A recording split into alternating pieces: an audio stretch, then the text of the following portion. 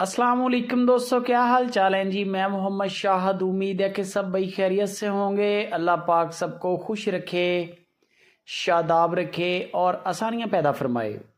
سات مارچ کی یہ ویڈیو ہے اور ویڈیو ہے عمران بھائی کی ہرون آباد سٹی سے۔ چھوٹا بندہ ہے، چھوٹا بپاری ہے، بہت بڑے بڑے کام نہیں ہے۔ دس بارہ جنوریوں کا سیٹ اپ ہے، ان کا اور بچھڑیاں ہوتی ہیں ان کے پاس۔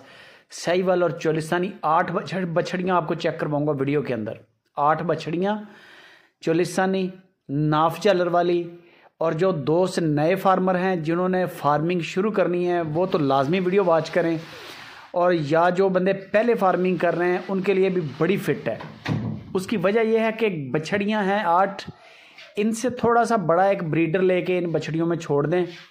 اور ٹائم بنا لیں تھوڑا سا یعنی کہ ان کو گھر میں آپ کی سمجھ لیں، ایک سائڈ پہ ہو سیٹ اپ جہاں پر یہ کھلی پھرتی رہیں، بچھڑیاں بھی اور بچھڑا بھی۔ آپ کے پاس صرف سائلج اور ونڈا یا توڑی اور ونڈا، یہ دو چیزیں ہوں تو کافی ہیں۔ سبز چارہ بے شک نہ بھی ڈالیں سب سے مزے کی بات یہ ہے کہ گرمی سردی برداشت کرنے والی یہ نسل ہے۔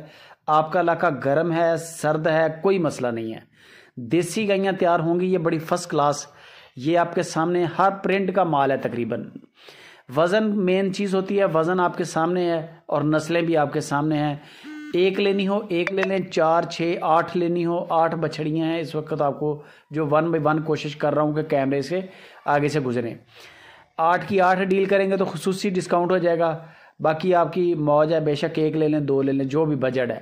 صرف پینسٹھ ہزار روپے کی ایک بچڑی ہے اور ٹوٹل یہ کوئی آٹھ بچھڑیاں ہیں۔ پینسٹھ ہزار روپے کی ایک ہے اور ٹوٹل آٹھ ہے، ایک لینی ہو، ایک بھی مل جائے گی۔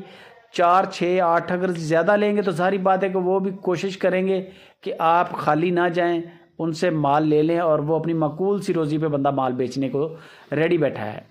باقی نمبر میں نے دے دیا ہے، عمران بھائی کا ہرون آباد ان کی لوکیشن ہے۔ ٹائم بن جائے تو ان کے ڈیرے پہ چلے جائیں، وہ سب سے بیسٹ ہے۔ انشاءاللہ حسب توفیق آپ کی خدمت بھی کرے گا بندہ۔ باقی مال تو ہے نصیبوں کا، سودا بن گیا بن گیا، نہ بنا کوئی مسئلہ نہیں ہے۔ آن لائن خریداری کرنی ہو تو آپ نے لائیو کال پہ جانور چیک کرنا ہے قد کاٹ بھی، نسل وغیرہ بھی دیکھ لیں۔ باقی پینسٹھ ہزار روپیہ مقول سی ڈیمانڈ ہے، ان میں گنجائش ہو جائے گی۔ باٹا ریٹ نہیں ہزاری بات ہے کہ ڈیمانڈ ہے۔ کتنی کریں گے ڈیمانڈ میں سے ڈسکاؤنٹ؟ وہ آپ کو عمران بھائی بتائیں گے۔ ان کا نمبر میں نے اسکرین پہ چھوڑ دیا ہے۔ کارگو ملے گی، گھر بیٹھ کے بھی لینا چاہیں، کوئی ٹینشن نہیں ہے۔ ایک، دو، چار جتنی بھی آپ آپ کا بجٹ ہے۔ اور بڑا ہی مناسب ریٹ ہے۔ بچھڑی، اب آپ دیکھیں کہ بچہ جو پیدا ہوا ہوتا ہے نا گائے کا اس کی بیس پچیس ہزار روپیہ ڈیمانڈ ہوتی ہے، قیمت ہوتی ہے۔ تو یہ ماشاءاللہ کھا پی رہے ہیں، بڑے بہترین